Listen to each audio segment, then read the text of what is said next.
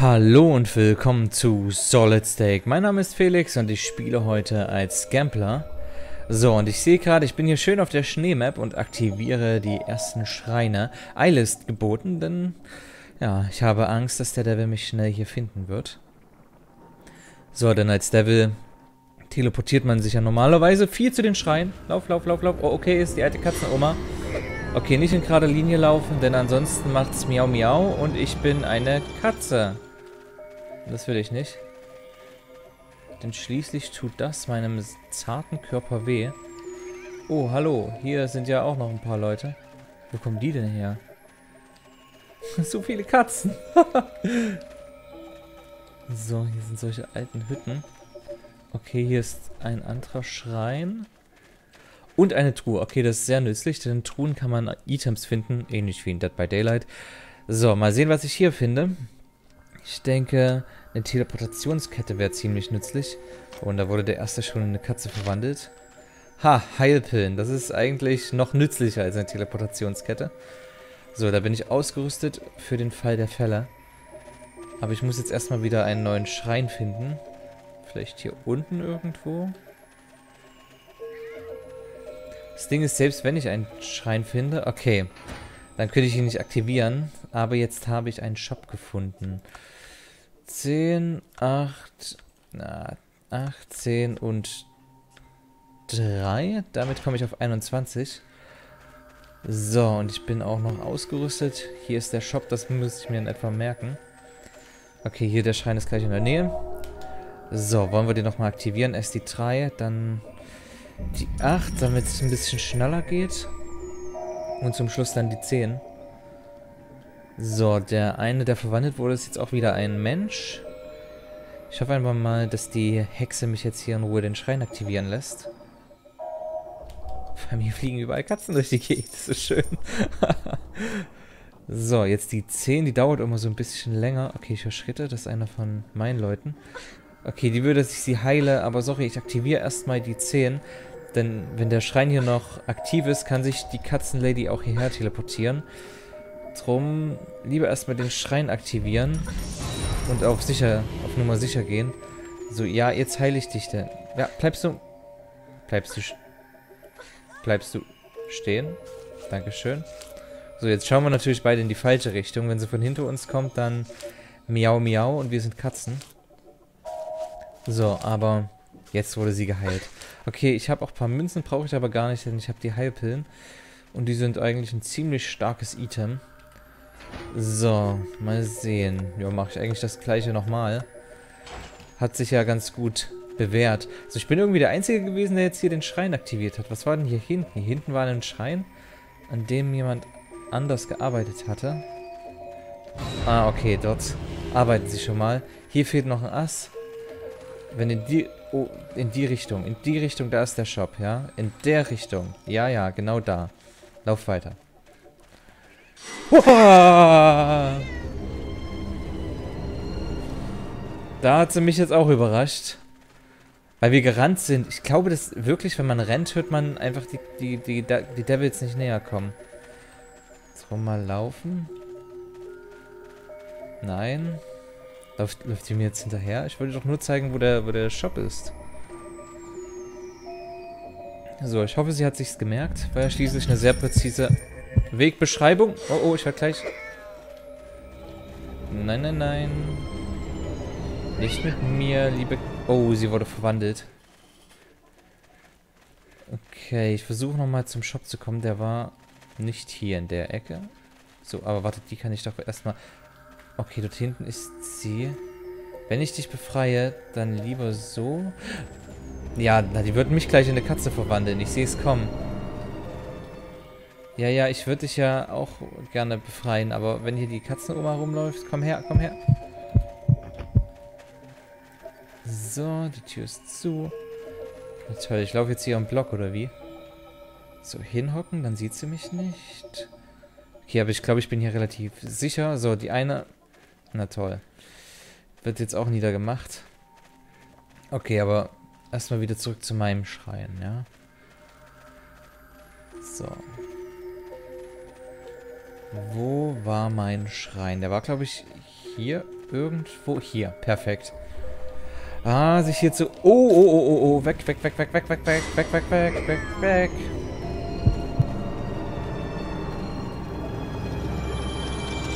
Nein, nein, nein, nicht mich zur Katze machen. Ich mag das nicht. So, okay. Einfach abhauen. Weg, weg, weg. Oh, die Katzen hier überall. So, dort hinten liegt eine. Die ist gerade eben erst umgefallen.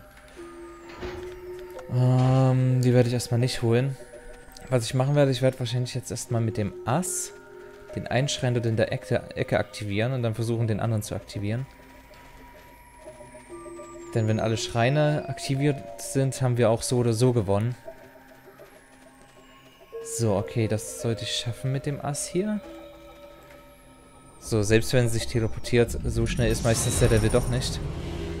Uah, verdammt. Aber Heiltablette. Ja, mir kannst du gar nichts, gruselige Katzenoma.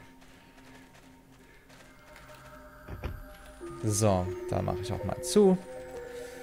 Okay, jetzt 18 habe ich, ne? Kann ich das nicht auch irgendwie kleiner machen?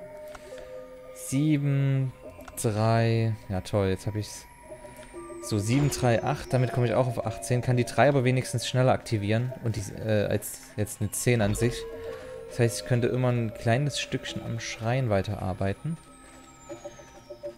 Und würde sogar einen Fortschritt machen, wenn ich jetzt immer mit einer fetten 8 oder einer fetten 10 alleine komme.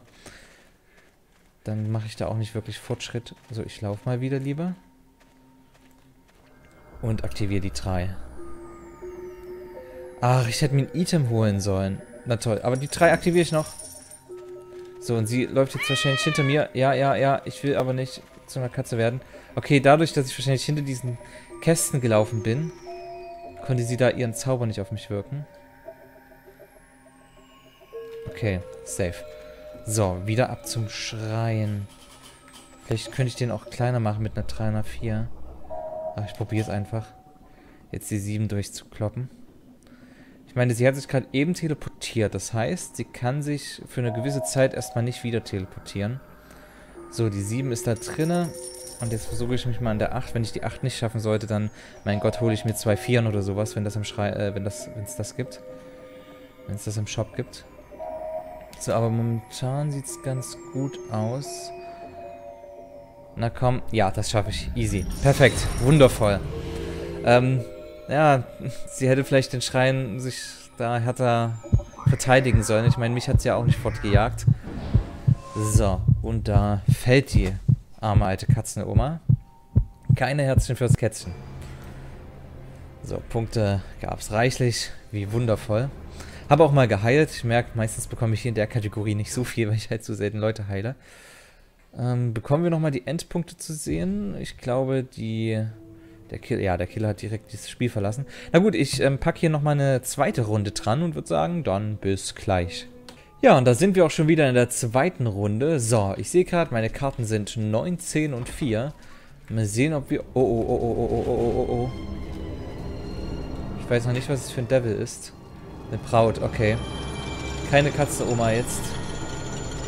Sondern eine Braut. Und ich hoffe mal, dass sie mich nicht weiter jagt. Aber ja, ich habe sie schnell genug gesehen. Da komme ich weik, äh, weiter weg, wollte ich sagen. Rauskommt du Weik. So. Ähm, jetzt aktiviere ich die 9, dann die 10 bei dem Schrein. Dann braucht er nur noch eine 2. Ich weiß nicht, die 4 hebe ich mir erstmal noch auf. Ich hoffe, ich kann hier in Ruhe die 9 aktivieren. Und zack, ja, das kann ich. Jetzt noch die 10. Und mit 19 Münzen könnte ich mir... Also ich glaube, 19 Münzen kann man sich die Heilpillen kaufen. 16 Münzen die ähm, Schattenkarte und 11 Münzen die Teleportationskette. Ähm, solange ich nicht verletzt bin, hole ich mir gerne die Teleportationskette. Weil es gibt nur eine begrenzte Anzahl an den jeweiligen Items und ich glaube, ja, ähm, die Heilpillen, die hebt man sich dann doch lieber für später auf. So, und hier ist noch ein Schrein. Hier hat sich ein Geist aufgehangen, okay. So, jetzt aktiviere ich die 4. Ich dachte, hier wäre vielleicht ein Shop in der Nähe. Aber dem war nicht so. So. Der Schrein braucht noch 17 und der andere braucht noch 2. Ich glaube, mit ein paar Münzen lässt sich das ganz gut machen. Äh, mit ein paar Karten, wenn ich die, wenn ich einen Shop finde, könnte ich beide Schreine hier unten aktivieren. Aber erstmal einen Shop finden. Da ist das große Aber. So, ich durchstreife erstmal hier den Mittelteil der Map. Auf der Suche nach Schreinen. So, da wurde der zweite schon gemacht. Mensch, wir sind aber schnell. Wenn ich beide, meine beiden... Oh, oh, oh, oh, oh, oh, oh. Wieso habe ich die denn nicht kommen hören? Da wurde der dritte Schrein gemacht. Meine Güte, die arme Braut hier. Beinahe wäre ich in sie reingelaufen, dann hätte sie zumindest schon mal einen Hit gehabt. Und ein paar Münzen damit. So, aber... Die dominiert hier gerade nicht so wirklich. Ich meine, ich konnte meine alle Karten dort unten aktivieren in Ruhe. Ohne dass sie sich überhaupt erst teleportiert hat. Also ich glaube, dass der Shop hier am Nordende der Map ist. Ich meine, die haben die ganzen Schreine sehr schnell durch ähm. Das heißt, sie müssen viele Karten haben. So, jetzt hole ich mir eine 1, eine 7 und eine 10. So, und ich denke, eine Stealth-Karte, damit ich auch sicher durchkomme. So, die aktiviere ich hier einfach mal. Ich meine, warum nicht einfach mal ein schönes Item verschwenden? Und mich total immobil machen? Oh, das ist so sinnlos. Wieso habe ich das jetzt gemacht? Gerade jetzt muss ich wieder eine Tür aufmachen und werde dadurch sichtbar. Aber hey. Den aktiviere ich doch gleich. Nehme ich mit. So, ich habe immer noch eine 17. Das heißt, ich könnte hier unten jetzt einen Schrein aktivieren. Vielleicht haben sie auch schon meinen einer Schrein dort unten aktiviert. Da war es ganz gut, dass ich den auf dem Weg mitgenommen habe. Nein. Ach, da fehlt eine 2, keine 1. Puh, zum Glück habe ich einen Ass mitgenommen. Das ist nochmal gut gegangen. So, aber jetzt hier die 17. Ah, da wird auch schon fleißig aktiviert. Na toll, meine Odyssee und die verschwendete Stealth-Karte war alles ein bisschen sinnlos. Ich habe jetzt nur diesen einen Schrein, äh, den einen Shop dort oben gefunden. Einen anderen Shop gab es bis jetzt gar nicht. Ich hoffe mal, dass die Braut jetzt hier langsam mal ein bisschen auftritt im Moment. Ich meine, hat ja noch gar nichts hinbekommen. Beziehungsweise noch niemanden verletzt. Ist wahrscheinlich ein ganz neuer Spieler. Der wird gleich hier auf uns losgelassen. Oh, das tut mir schon so ein bisschen leid. Aber so ist das Spiel. Nur so lernt man's. Ich glaube, gerade wenn man das Spiel zuallererst spielt, dann sollte man vielleicht nicht die Braut wählen. Ich muss sagen, in meinem ersten Video habe ich ja auch die Braut gespielt und das war so der Devil, den ich am Anfang, von Anfang an spielen wollte. Ähm, aber der Kadaver, der eignet sich da, denke ich, deutlich besser, weil man zumindest mit dem Sprint noch so den einen oder anderen Hit kassieren kann. Mit der Braut muss man halt möglichst, ja, mit seinen Illusionen gut umgehen können. So, den Prinzen könnte man auch spielen, aber den Prinzen, muss ich sagen, finde ich momentan auch relativ schwierig zu spielen, weil man sich so anschleichen muss und den Gambler halt nicht sehen kann, beziehungsweise nicht sehen darf, um sich effektiv anzuschleichen. So, da mag ich die Braut sogar noch lieber. So, aber jetzt aktiviere ich hier die 7, äh, die 2, also die beiden Esser. Dann haben wir auch gewonnen. So. Tja, das war mal eine ruhige Runde zum Abschluss. Tja, wir sind ein, zwei Mal in die Braut reingelaufen. Sie hat es aber nicht hinbekommen, uns zu schlagen.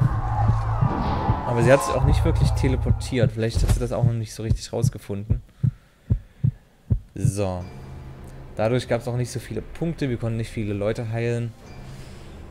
So, aber wenigstens ein paar Münzen. So, wie sieht's aus? Ja, der ist Level 2, der hat das Spiel wahrscheinlich eine Runde vielleicht mal gespielt, ist auf Level 2 gekommen und dann nicht weiter. Hat nicht mal sich einen Cheat, also einen Perk reingenommen. Naja, so, sowas passiert dann eben auch. Na gut, ähm, ich hoffe, euch haben die beiden Runden gefallen. Lasst gerne Fragen, Kritik und Anregungen in den Kommentaren. Und dann würde ich sagen, hören wir uns beim nächsten Mal. Tschüss!